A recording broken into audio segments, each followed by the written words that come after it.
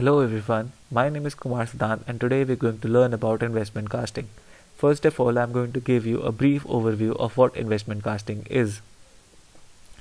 Investment casting utilizes a pattern which is made up of a material having a very low melting point such as wax or plastic. And today's date, foam has been used.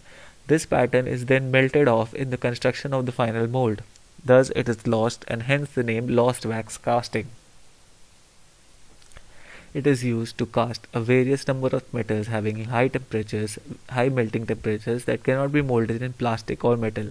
These metals include aluminum alloys, bronze alloys, magnesium alloys, etc.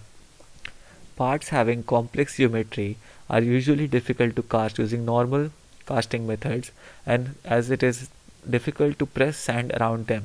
Thus, investment casting it is utilized in their making. It is one of the oldest metallurgical techniques and has been around for about 5000 years old and has been evidenced to be used by the Egyptians, Mesopotamians and even the Mayans. Moving on, we are going to discuss the procedure of investment casting. First and foremost, pattern making. Now, a single pattern can be used to make only a single mold and hence a single final product, which is not at all ideal. So a master die is first constructed on the basis of our requirements and incorporates all the various allowances. This master die is then used to make a large number of patterns which can be then used to make a large number of molds.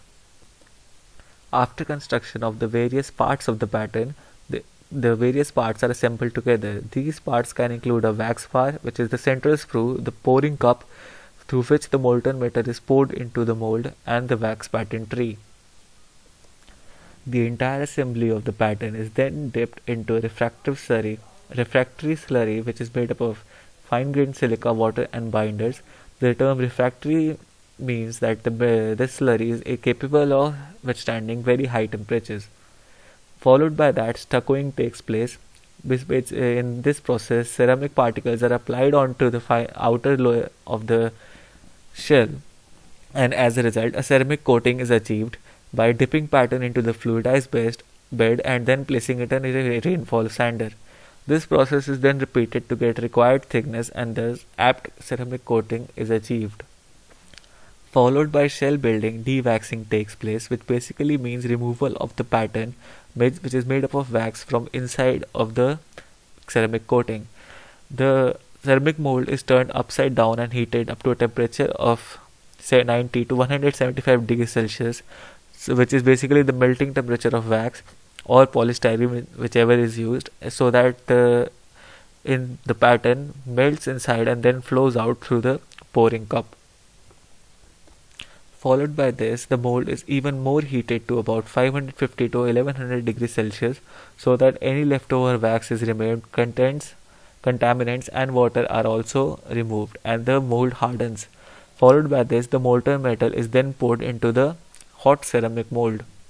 After this, the casting is allowed to cool, and once the casting has been cooled, the outer ceramic mold is removed by knocking out it or by various other processes. Followed by this, the gates and runners are cut off, and the fi- final product is then finished off using grinders or any other g- devices which can be used to provide better surface finish. Finally, the product is inspected using X-ray to check, check for any cracks or crevices that might be present inside it. There are a number of techniques that are used in investment casting.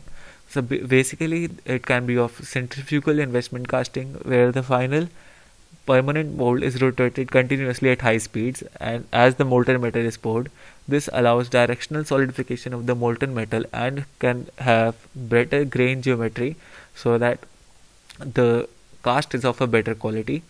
It could be of a counter gravity casting where instead of pouring molten metal inside the permanent mold, the mortal the permanent mold is kept on top of the molten metal and the molten metal is sucked into the permanent mold by creating a vacuum inside of it and it can be of solid investment process.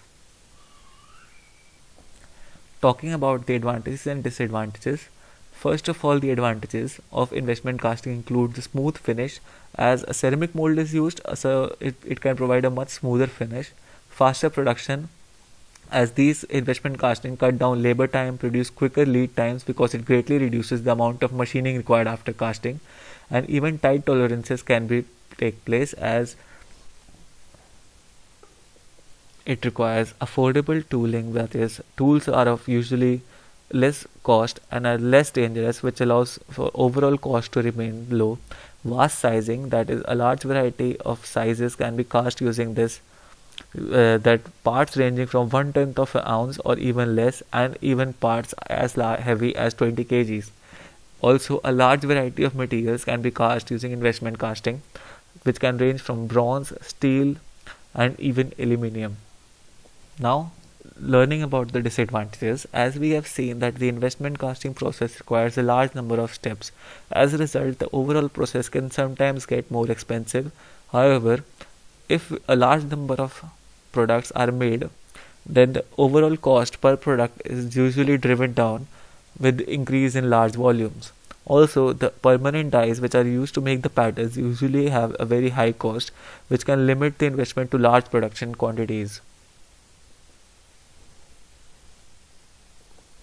Also, the refractory material which is used is usually of high cost and labor can be also very high costing. Also, there are design constraints as the material, if they have cores, then they cannot be cast, or holes smaller than 1.6 mm or deeper than 1.5 times the diameter cannot be cast using investment casting. Discussing the applications of investment casting, first of all, we can look at aerospace industry as they utilize a large number of parts which are which can be only made through investment casting, like turbine airfoils, the aircraft engine itself, and the industrial gas turbine industries all utilize investment casting. Even military equipment as gun triggers, hammer sights, the bolt catches and carriers, basically a large number of firearm parts which are used to make weapons are may have complex geometries and can be cast only using investment casting. Even automotive industry utilizes parts. Automotive industry utilizes parts made up of investment casting. For example various engine parts like pre-combustion chamber for tractors matadors etc gear shifter for four-wheeler four-wheeler vehicles. Engine parts itself are made using investment casting. The further applications include applications in marine vehicles construction tools and equipments household and office fixtures and even has agricultural, industrial, and other heavy equipment applications. Thank you.